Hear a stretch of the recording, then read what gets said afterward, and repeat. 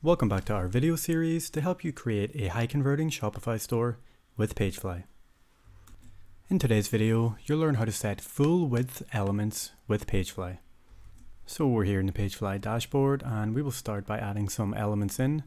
The first one is going to be a slideshow. We can search for that in the toolbar and drag it onto the page. And the second element is going to be an image Once again, we'll drag that onto the page, but we must make sure that it goes into a new section.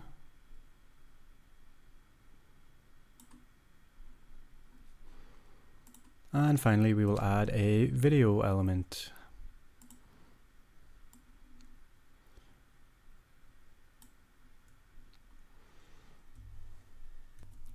So to make sure these elements are full width, we need to select the entire section that the element is contained in Come to the right toolbar under General and where it says Set Fixed Width, we want to disable that.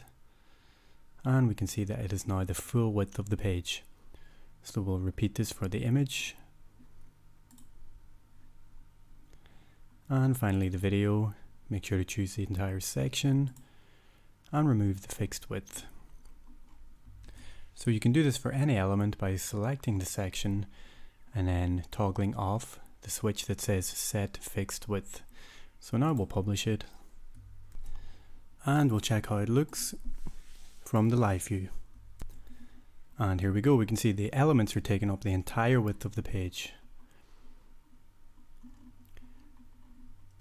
So that is how you set full width elements in Pagefly. Don't forget that you can reach us on our 24 hour support line within the Pagefly dashboard.